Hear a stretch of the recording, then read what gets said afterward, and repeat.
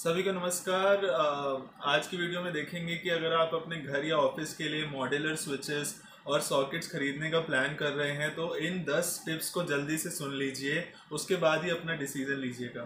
तो tip number one है, design gap, depth और इंटीरियर कंस्ट्रक्शन जो है, स्विच और सॉकेट का, वो बहुत ज़्यादा मैटर करता है, क्योंकि करंट लगने का खतरा रहता है अगर स्विच में पानी चला जाए तो। खास करके वेट प्लेसेस जैसे बाथरूम और टॉयलेट्स में इसका ध्यान रखना और भी ज़रूरी हो जाता है।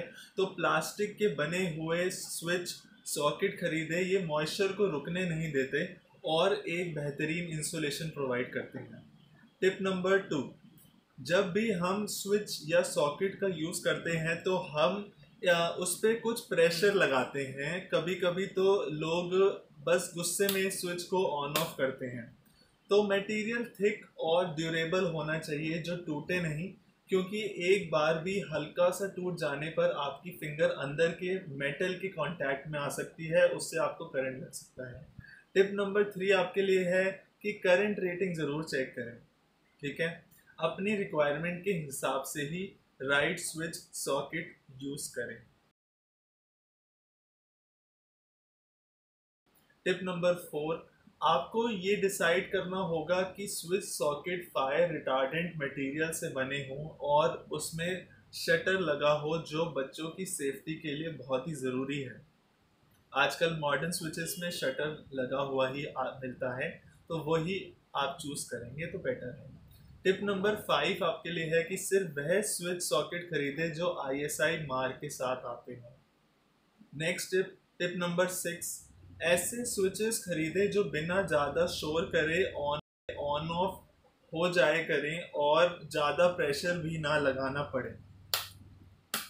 टिप नंबर सेवन है कि हमेशा अच्छे ब्रांडेड प्रोडक्ट्स ही चूज़ करें, क्योंकि इसकी लाइफ करीबन टू लाख क्लिक्स की होती है, जो आपकी पूरी लाइफ टाइम के लिए बहुत ही सफिशेंट होगा।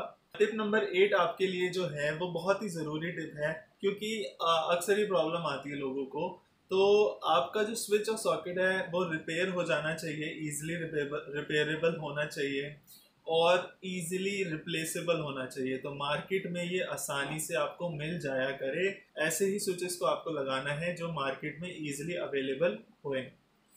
टिप नंबर नाइन आपके लिए ये है कि आजकल जो आपके सॉकेट्स आ रहे हैं, वो मल्टीपल पिंस में आ रहे हैं।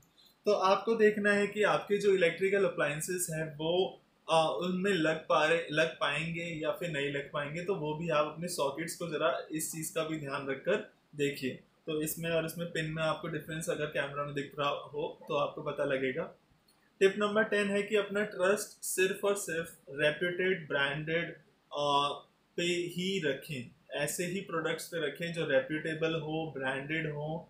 क्योंकि आ, इन सब टिप्स जो मैंने आपको बताई हैं ये सब सिर्फ़ इन ब्रांडेड चीज़ों के अंदर ही आपको मिल पाएँगी। मेरे पास ये हैवल्स का क्रैप्ट्री का ये आप अपने सामने देख सकते हैं स्विचेस सॉकेट्स वगैरह। और सामने उसके साथ में मैंने विप्रो का कॉन्वेक्स का रखा हुआ है जो कि इससे भी बेटर क्वालिटी में आपको मिलता है।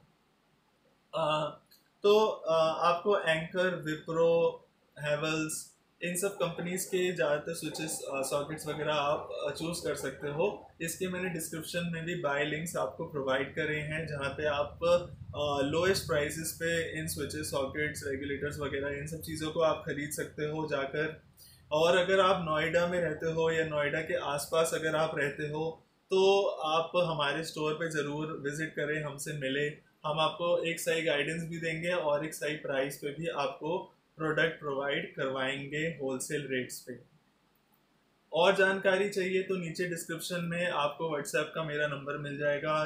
कोई ना कोई आपको मेरी कंपनी से रिप्लाई ज़रूर करेगा।